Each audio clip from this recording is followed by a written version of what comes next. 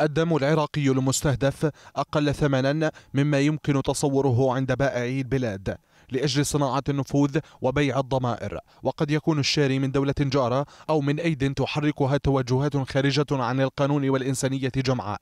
تحت أهواء السياسيين الذين صنعوا عصفا سياسيا بالمشهد الأمني خروجا عن القانون وضربا بفرص صناعة معادلة تكفل العيش الآمن والسير قدما في إعادة الإعمار السياسي والاقتصادي والأمني. العنف يتزايد قبل شهور من موعد الانتخابات التشريعية. تصفية حسابات بشكل دموي يراها حقوقيون على أنها تعيق بحسب مصادر مقربة من كتل سياسية وشعبية تعيق إجراءات احترام سيادة الدولة ليعود مجددا مسلسل اتباع أجندات خارجية أو الدفع بالعملية السياسية إلى الهاوية.